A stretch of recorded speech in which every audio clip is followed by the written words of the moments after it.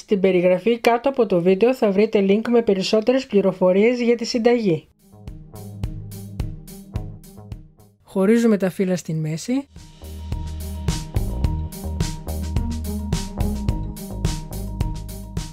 Τα διπλώνουμε και τα κόβουμε σε λωρίδες.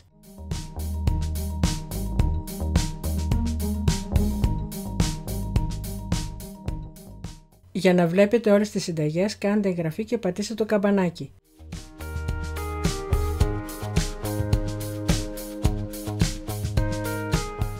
Τις ανοίγουμε πολύ καλά.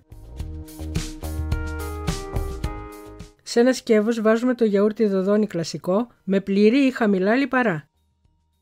Προσθέτουμε τα αυγά και ανακατεύουμε.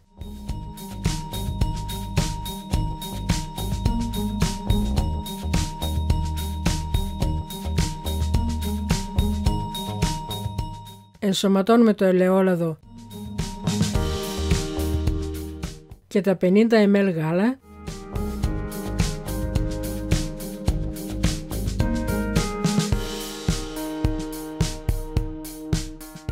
Λαδώνουμε τα ψη 38 επί 32 εκατοστά.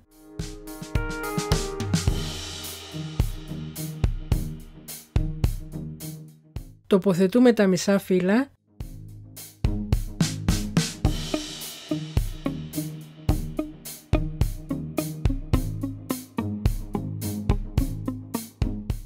Απλώνουμε τα 2 τρίτα από το μείγμα με το γιαούρτι.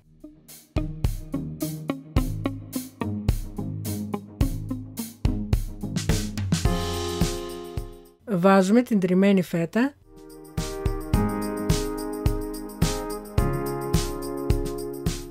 Σκεπάζουμε με τα υπόλοιπα φύλλα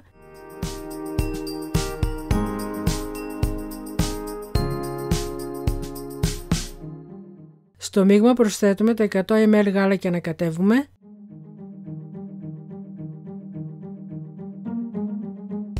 Περιχύνουμε επάνω από την πίτα.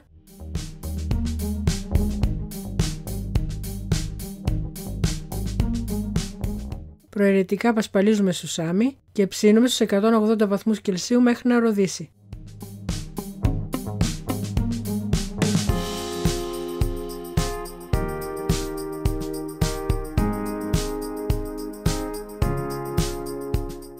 Αν σας άρεσε το βίντεο κάντε like και αφήστε το σχόλιο σας. Καλή επιτυχία!